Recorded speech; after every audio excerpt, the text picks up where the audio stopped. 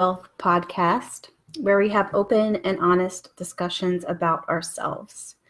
this is a place where we break down, break away, and break through codependency, allowing ourselves life.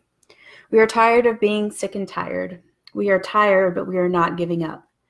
We know that there is something magnificent inside of us. And because we are fighting daily, hourly, and by the minute, fighting ourselves, our kids, our spouses, we have to do things differently. we have to break the cycle. We don't have a million chances. We have to be happy now. We have to find a way. So, how do we do that? How is that possible? If you look around at what society is telling you, they tell you that what we're doing is impossible. Yet it's happening every single day. And it's happening through the practice and the love that we call awakening the magnificent soul. We are all magnificent souls, and these are our stories of healing. Today, in episode 41, I am back on track after uh, last week's episode about the coronavirus on the last leg of the control series, and that's part six of 10, all focused on control. And specifically today, trying to control outcomes in relationships, how that looks, and how taking on a burden, maybe yours or someone else, can do more harm than good. But before we get into this discussion, don't forget to let me know your thoughts about this episode, any feedback you have, or anything you'd like me to cover on future podcasts at epiphanyvault.com. Remember, you can share anonymously, it is a safe place, and I would welcome the discussion. Also, I wanted to make a really cool announcement that I'm excited about. If you follow me on any of the social webs, you probably have seen that I'm offering a new soul class that I'm doing for free. I'm putting some finishing touches on it, and it's going to be called How to Break Down, Break Away, and Through Any Bad Relationship Without Feeling Helpless, Afraid, or Being Alone Forever. And I want to make sure I don't leave anything out. So I'm asking you, the listener, if you would let me know your biggest question that you have about codependency. It could be anything. You may think it's silly, but I assure you it is not. And to get the class free, all you have to do is submit your question. And in exchange for your advice, I will give you again free access to the soul class that's happening on Tuesday, April 28th. I think I will be selling the course for $297 soon, but uh, you'll get special access to experience the course for free when you let me know your number one question. And to submit your question, just go to the website and click on free live soul class. It's the bottom left hand corner. And I am closing this off when the spaces are full. So if this is something that you'd like to do, I would really appreciate it. And I look forward to seeing you there. So I wanted to uh, go over a listener question that I got through the Epiphany Vault. And I want to thank Marv for writing in. Um, Marv gave me permission to share his thoughts with you, you all here. So this is what he writes. He says, Happy Friday. So I listened to the first podcast of What is Codependency. And before listening to this podcast, I thought that codependency could only be one person in a relationship meaning one person would be codependent and the other person isn't. It sounds like some relationships can have two codependent personalities. Really eye opening stuff. Question Is it possible for two codependent people to have a healthy, intimate relationship? If so, how? Can a codependent person have a good relationship without seeking therapy? Do you have any success stories or any advice of how a codependent person was able to overcome and move into healthy friendships and relationship. Thanks for sharing your story, Marv. Or he's, he actually says, thank you for, for sharing your story, truly brave, which thank you. That's a great compliment. And thank you for the encouragement, Marv. It's definitely fuels my fire when it comes to the podcast and the other things that I'm doing. Um, as far as to continuing to share, and I really hope that sharing my hurts and difficulties and triumphs encourages my listeners. Um, and yeah, thanks again, Mark, for listening to episode one. And just a brief little asterisk about episode one that is the by far the most played episode so far in my catalog on the podcast. And I think it's cool because I think you're exactly right. There are a lot of misinterpretations and even bad connotations surrounding the word codependency. And even in that episode, I put it out into the universe the way that I define codepend- codependency, which is a complete disconnect from oneself. I still stand very strongly with that definition, and that the manifestation of this disconnect is a codependent connection with someone, or even sometimes something like drugs, alcohol, or food, for example. But without arguing the semantics, like the words and the definitions, they're really just signposts and symbols for what these life occurrences are. And what I think is important to focus on and what I've done in my journey is to learn how to deal with this disconnect and its consequences, which is why I'm here. And Marv, thank you. Some really deep follow up questions uh, for me.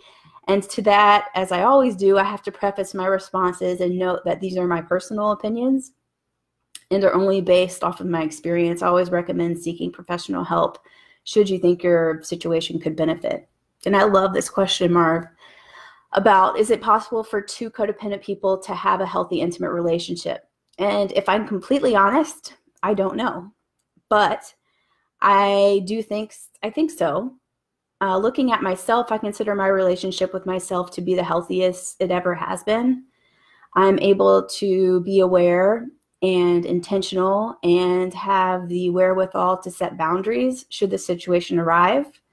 And these things are that in the past I was flat out not able to do. I think two codependent people who are in the right space and who have the tools and support to work on themselves and each other have a great shot at having a healthy relationship. But I have to continuously stress and remind myself that a whole healthy me is the best me. And I do 100% believe that that's the first step. And regarding therapy, I am a big proponent of therapy. I think that with the right professional, it is always great to have a safe space to discuss feelings and worries and everyday occurrences.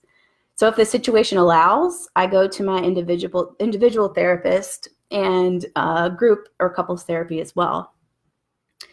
And the last bit, I consider myself, you know, not to brag, but I do cons- consider myself a huge success story. And that's one reason why I'm sharing my story here on the podcast and working on my book and my courses. And for the most part, part I have recovered through self study and self awareness, ups and downs, trials and tribulations.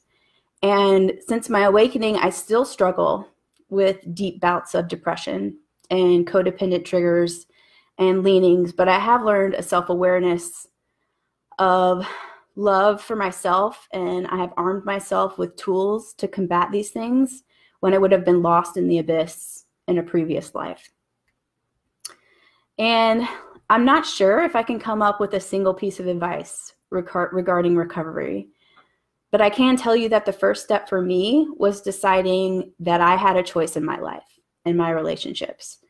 That the only person, thing, event, etc., that would make me feel better was something that I was going to do.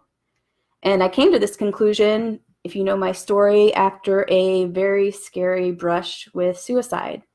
And I think cognitively, of course, you know that you have a choice. But for me, legitimately, I knew that it was life or death. So I chose me. So those are the ends of your questions, Marv. Thanks again for writing in and thanks for listening. And uh, yeah, thank you so much. And we're going to go on to today's topic now. It's a little bit of a spinoff of the relation or responsibility absorption podcast, but I wanted to touch today on taking on the burdens of others, even when it may not be help, helpful for ourselves. And this is may this is maybe may or may not be about control, but why would you want to do this? Why would you want to shoulder burdens that make us feel unhealthy, make you feel like crap, maybe make you feel like we're crazy? Do you find yourself doing things for your other in your codependent relationship that you would not do for yourself? Do you think you're doing this unconsciously or subconsciously? Have you ever reasoned with yourself or someone else that you're quote unquote just trying to be nice? If you dig deep, do you feel that people abuse your niceness? Is it hard to say no when asked to do something? Are you too generous with your time? Do you take up more than your share at work, on on or in an organization? Do you always feel too busy, quote unquote, to focus on you? These are some hard questions. There are a lot of them, but what do you think? These are questions that I have had to ask myself during my personal growth. Because honestly, for the longest time, I would wear busyness as a badge of honor. I would just do just do and do and do without thinking about its effects or if I wanted to do anything at all or if I had a choice in doing those things. I've now come to terms with the fact that I don't have to say yes to everything. And I have to tell you, it's a very freeing feeling. I used to say yes point blank if I could do it, if I had the time, no matter what it was, it was the nice thing to do. I didn't give any thoughts on how it would make me feel if my time was well spent doing said thing, or if here's a big one, if I did it, what would I expect in return? Like control. And we're more on that in a few minutes. You know, if you look up the term code, codependency, you will see a theme in the definition stemming around people pleasing, where codependents utilize uh, situations, people, whether by design or just instinctively to try to be the most well liked person. I was a people pleaser, 100%. So much so that I lost my identity. And that's why I define codependency a little bit differently. That's the deeper level codependency, the complete loss of oneself, the complete loss of one's identity. I feel like that's the root. Uh, when you spend your energies trying to please others, it's only natural that you lose yourself.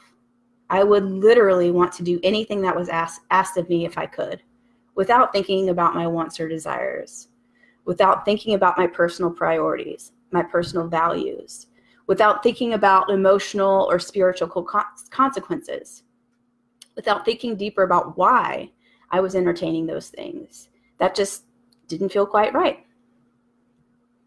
Truth. Sometimes I would feel like I was the only one that had these problems.